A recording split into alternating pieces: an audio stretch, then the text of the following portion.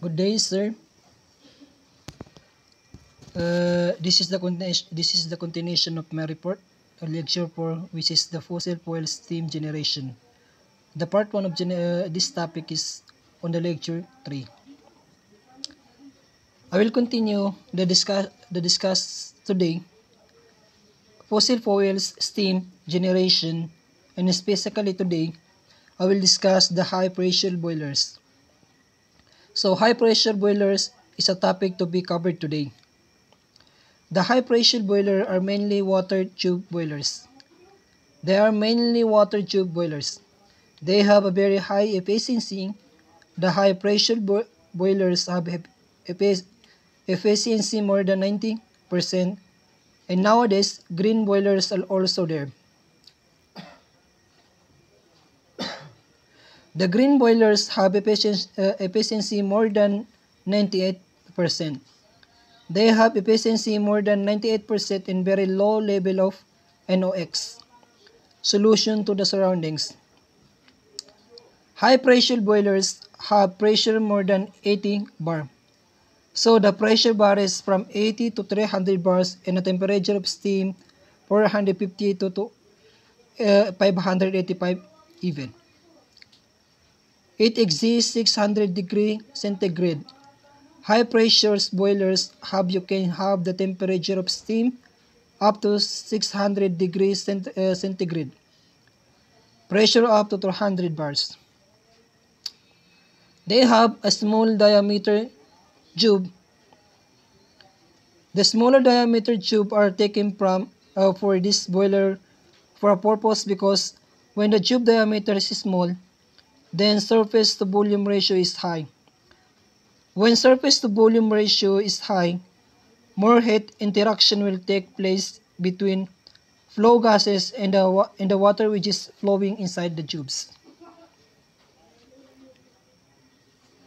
Lamont 1925 Lamont boilers, most popular boilers which was introduced in 1925. The steam generation capacity of Lamont boiler is 50 tons per hour. Pressure is 170 bar and temperature it can it takes up to 500 degree centigrade. In a Lamont boiler, there is a boiler shell right and it narrows down from the top and this is the place for flue gas to leave the boiler. Fuel is burned at the bottom of the boiler in fire gate.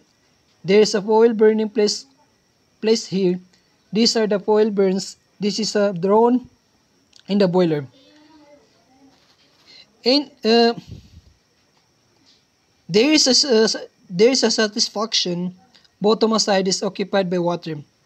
Top is occupied by saturated steam. This water known as feed water. Feed water is sent to the boiler with the help of a pump.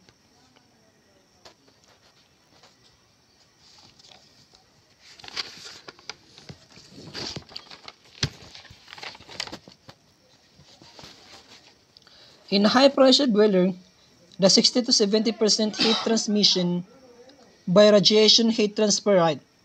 After radiation heat transfer, there is convective heat transfer here.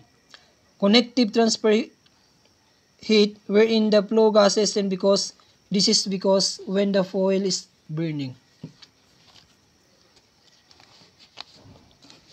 Benson boiler. Bens, uh, Benson boiler is is a non-less boiler. It does not have any drum. So it is a once through boiler. Benson boiler are high pressure drumless water tube kind of boiler that make use of forced circulation. This kind of boiler has a unique characteristic of the absence of the steam separating drum. As, the- as the latent heat of water reduced to zero, the water directly changes into steam without the formation of bubbles.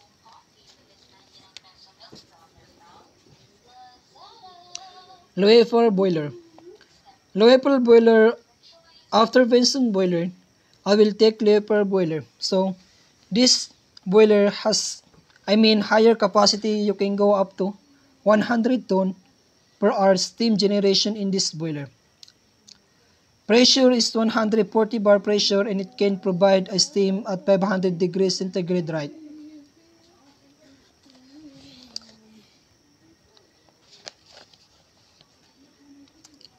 Uh, boilers, uh, Velox boiler. Velox boiler is a high pressure force circulation water tube boiler. It has developed in 1930s by Brown Burn, uh, Boroni Company of Switzerland. The first public demonstration of Velox was at BDI Scientific Conference in Berlin on October 1932. And this, uh, that's all. Thank you. Then, i-discuss ko lang yung i-separate ko lang yung video about sa mga discussion.